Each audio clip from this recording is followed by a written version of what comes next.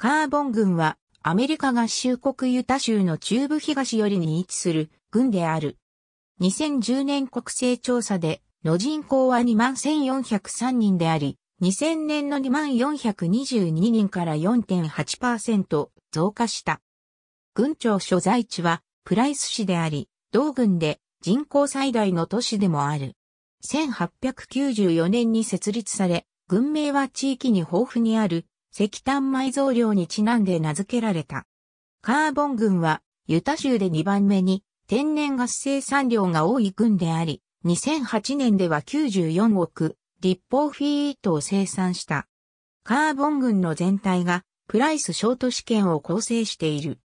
カーボン郡は1894年に設立され、地域にある石炭埋蔵量にちなんで郡名が付けられた。カーボン郡から過去にユタ州知事が一人出た。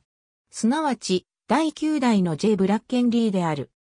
リーは1935年から1947年までプライス市長を、さらに1959年から1971年までソルトレーク市長も務めた。カーボン郡にある祈願、アメリカ合衆国国勢調査局によれば、軍域全面積は1485平方マイルであり、このうち陸地は1478平方マイル、水域は6平方マイルで、水域率は0.41%である。カーボン郡は昔からブルーカラーの住人がかなりおり、共和党の強い地盤であるユタ州の中では民主党を支持する軍となってきた。1992年と1996年のアメリカ合衆国大統領選挙でも民主党のビル・クリントンが大差で軍を制した。州全体での選挙でも民主党を劣らず支持している。1964年の州知事選挙では民主党候補であるスチュワート・ハンソンが共和党候補のマイケル・リービットを破ったことでは州内ただ二つの軍の一つだった。しかし最近では接戦を演じる軍になってきている。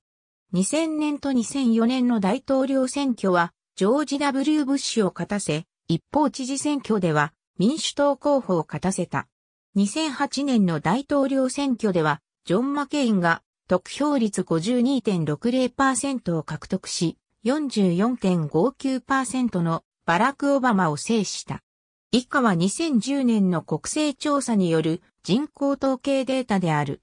群内の詳細 QUICKFACTS.census.gov カーボンカウンティアクセスト2011年10月8日 QUICKFACTS.census.gov プライスユタファットファインド A カウンティナショナルアソシエーションオブカウンティーズ。http://www.naco.org スラッシュカウンティーズスラッシュページーズスラッシュ fintacounty.aspx2011 年6月7日閲覧